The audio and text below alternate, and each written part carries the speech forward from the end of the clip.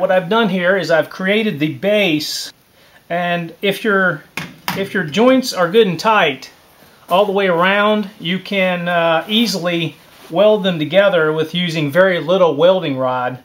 Um, the welding rod that I'll be using for this, since I'm going to use oxygen and acetylene, I'm going to use a 1 16th inch uh, welding rod. This is actually a TIG rod, and that's all I'm going to need because the, the joints are so tight on this base that I'll be able to just hardly use any fill at all as I go ahead and fill this.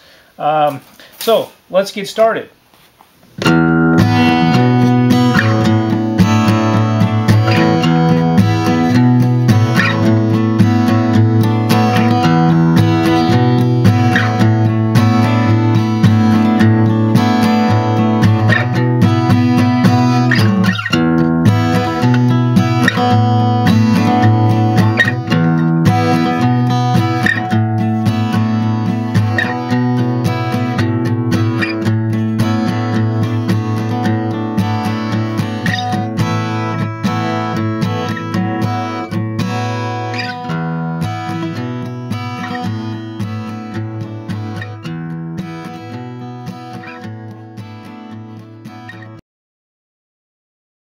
And here is the final piece.